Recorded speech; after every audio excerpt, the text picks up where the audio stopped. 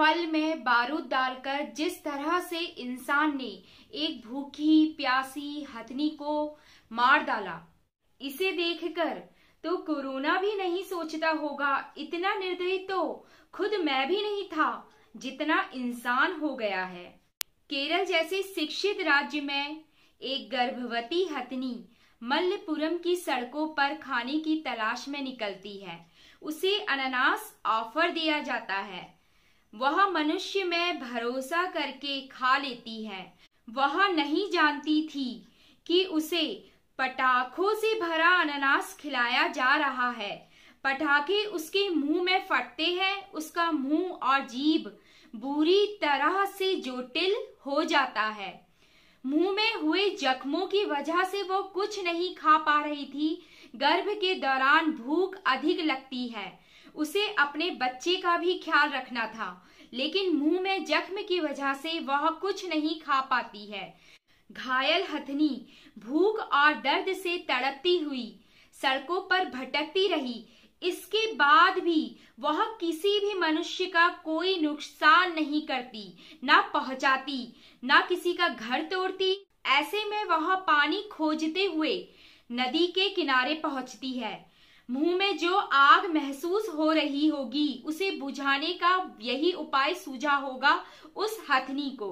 Forest department को जब इस घटना के बारे में पता चलता है तो वह उसे पानी से बाहर लाने की कोशिश करते हैं। लेकिन हथनी को शायद समझ आ गया कि उसका अंत निकट है और कुछ घंटे बाद ही नदी में खड़े खड़े वो दम तोड़ देती है। इन पढ़े लिखे लोगों से बेहतर वह आदिवासी हैं जो जंगलों को बचाने के लिए अपनी जान लगा देते हैं, जानवरों को बचाने के लिए अपनी जान लगा देते हैं। इन लोगों को पता होता है कि किस तरीके से इन लोगों से प्रेम किया जाता है, कैसे जंगलों को प्रेम किया जाता है, कैसे जानवरों से प्रेम किया जाता है। वह खबर ज़्यादा पुरानी नहीं हुई है जब अमेजन के जंगल जले। इन जंगलों में जाने कितने जीव मरे होंगे। ऑस्ट्रेलिया में हज़ारों ऊट मार दिए गए। यह कहकर कि यह ज़्यादा पानी पीते हैं। कितने ही जानवर मनुष्य के स्वार्थ की भेंट चढ़ते हैं। भारत में हाथियों की कुल संख्या बीस हज़ार से पच्चीस हज़ार के बीच है। भारतीय हाथी को विलुप्त प्राय जाति के तौर पर वर्गित किया गया है। हाथी एक ऐसा जानवर है जो किसी जमाने में राजाओं की शान हुआ करता था। आज अपने अस्तित्व के लिए लड़ रहा है। धरती का एक बुद्धिमान, समझदार, याददाश्त, में सबसे तेज, शाकाहारी जीव क्या बिगाड़ रहा है, जो आप सभी उसके साथ यह सलूक कर रहे हैं। सब जीव कुदरत के लिए एक समान है। इंसान से ज़्यादा तो पृथ्वी की महत्ता जानवर समझते हैं। हम इंसानों ने तो आधुनिकता के ढोंग पर पूरी कुदरत को उछल जंतु। जानवरों को आप जीने दें। वो क्या आपका बिगाड़ते हैं? बात करते हैं कि जानवरों के साथ ऐसी गलत अपराध या बर्बरता करने पर क्या हमको सजा मिलती है? क्या अपराध ही? इंडियन पैनल कोड 428 सेक्शन आपको यह बताता है कि दस रुपये ये जो सेक्शन हमारा बना था 1860 में बना था, उसके हिसाब से ये बताया कि दस रुपये के मूल्य से ऊपर जो भी आपका जानवर आता है।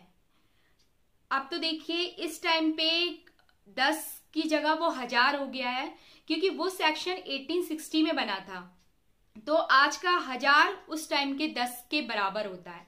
तो अगर दस रुपए के मूल्य के किसी जानवर के साथ आप मारते हैं या उसके साथ मतलब उसको कोई चोट पहुंचाते हैं या पॉइजन खिलाते हैं तो उसमें जो आपको सजा मिलेगी दो साल की आपकी सजा होगी प्लस जुर्माना होगा और साथ में दोनों चीज़ें भी लग सकती हैं। जुर्माना भी आपको देना हो सकता है और दो साल की सजा भी आपको मिल सकती है। सेकंड जो आता है आईपीसी 429 उसमें क्या प्रावधान होगा? इसमें जो 50 आ, मतलब पचास रुपये आप आ, इस वक्त के हिसाब से मतलब आपका जैसे जो भी आपका गाय हो गया आपका बैल हो गया या आपका हाथी हो गया और जो भी बड़े बड़े जानवर जो काफ़ी मूल्य के होते हैं तो उन जानवरों के साथ अगर आप कोई गलत पॉइजन खिला देते हैं या उनको कोई हानि पहुँचा देते हैं या उनको मतलब अपाहिज कर देते हैं तो आपको पाँच साल की सजा, जुर्माना और दोनों चीज़ें दे भी हो सकती। जानवरों पर हो रहे अपराध को रोकने के लिए भारत सरकार 1972 भारतीय वन जीवन संरक्षण अधिनियम पारित किया, जिसमें जंगली जानवर के शिकार या अनावश्यक तंग से उन्हें परेशान करने पर जेल और जुर्माना भी आपको लग सकता है। हथनी की इस घटना को सुनकर मेरा दिल बहुत को जानवरों को इतने प्यार से रखना चाहिए इतनी दया की भावना में रखना चाहिए। जब कोई जानवर हमें नुकसान नहीं पहुंचाता है तो हमको भी उनको नुकसान पहुँचाने का कोई ऐसा काम नहीं करना चाहिए। मेरी अब तक की वीडियो में बस इतना ही। बहुत जल्दी मिलूँगी कुछ नए टॉपिक के साथ। तब तक के लिए मस्त रहें खुश रहें स्वस्थ रहें।